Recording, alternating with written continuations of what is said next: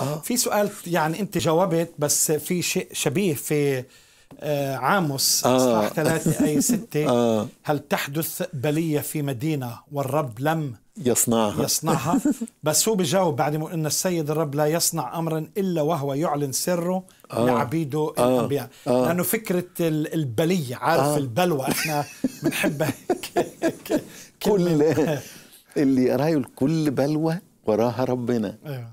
وصدقني تاني ده من الأسئلة اللي خد مني وقت كتير. وقعدت أدرس كلمة البلية وهقول تاني لكل مشاهد اوعى تفكر إن المقصود بالبلية أي بلوى يبقى الرب عملها. ابدا. دي برضو كان المقصود بها السبي. السبي. تتكلم على سيادة الله كمان و- لأنه الآية اللي. قبليها آه صدقني مسكت النص فصصته حتة حتة. لأن في آية ثلاثة يقول إيه؟ هل يسير اثنان ان لم إن يتوعد. لم يتواعدا هل يزمجر الأسد في الوعر وليس له فريسة؟ مين الأسد ومين الفريسة؟ مين الاتنين اللي بيتواعدا لما قريت القرائن والخلفيات عاموس كتب قبل السبي قبل السبي شايف إسرائيل بتنحدر إلى الفساد والشر وشايف أشور بيتقدم وبيتوحش. وهو شاف بعين الرائي. عين الرائي دي بتنزل في الوحل والطين وأشور البلد الشرير بيتقدم ويتوحش. فقال لنفسه وده موجود كتير في كل عموس نتيجة شركم الرب هيبتليكم. هتحصدوا في بلوى جاية عليكم. إيه البلوى؟ اللي هي السبي. هل يسير اثنان إن لم يتوعدا في أسد وفي فريسة مين الاثنان هي أشور اللي بتتقدم وأنتوا نازلين. هم الأسد وإنتوا الفريسة.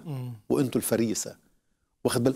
و- وهقول لكل مشاهد رغم إني أشور سبى بني إسرائيل بإرادته الحرة إلا إن الرب صاحب السلطان يقول ويل لأشور قضيب غضبي. يا سلام يا رب قضيب غضبك. آه وهيعاقبهم لأن عملوا ده بإرادتهم الحرة. بس لأنه هو صاحب السلطان على كل الأحداث. استخدم آشور لعقاب بني إسرائيل. أداة. آه.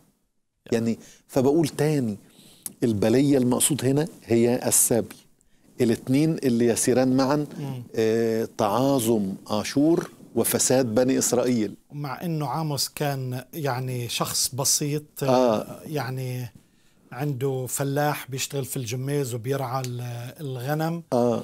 وكان جنب بيت لحم في آه. منطقة اسمها التقوع.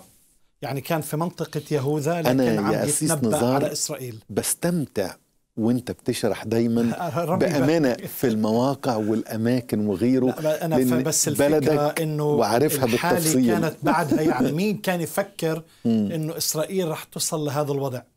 بعدين بالاصحاح الثالث بنشوف والثاني والثالث الويلات مم.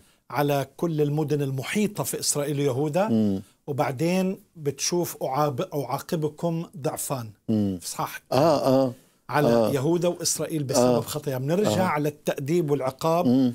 إنه ضعفين دائما عن أي شعب آه اللي كان مجاور آه. لإسرائيل آه